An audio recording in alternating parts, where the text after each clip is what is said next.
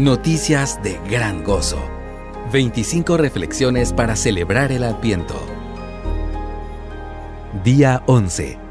El Hijo Obediente. Escrito por Janine Martínez.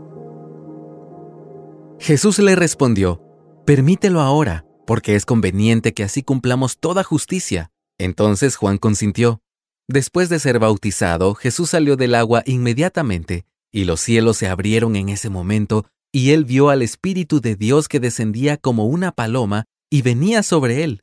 Y se oyó una voz de los cielos que decía, Este es mi Hijo amado, en quien me he complacido. Esto está en Mateo 3 del 15 al 17.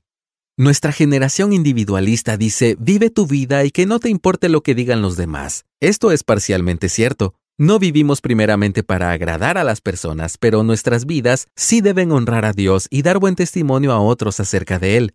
En el caso de Jesús, el hecho de que su ministerio iniciara con la aprobación pública de su Padre Celestial sentó las bases para todo lo que hizo después. Su Padre testifica estar complacido con él antes de que empezara su ministerio público y completara la obra para la cual se despojó de su lugar en el cielo y asumió la vulnerabilidad humana.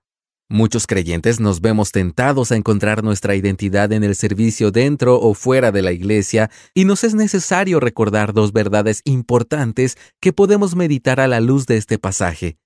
La primera verdad es que el Padre se complace en Jesús y por lo tanto también en nosotros. A quienes hemos sido declarados justos ante Dios por la fe en Cristo, se nos ha puesto en nuestra cuenta el carácter perfecto de su Hijo. Mira Romanos 5.1. Somos aceptados en Él. El Padre nos mira en Cristo con el amor, la aceptación y complacencia que declaró tener sobre Él. La segunda verdad es que el Padre se complace en su Hijo antes de lo que Él hace públicamente.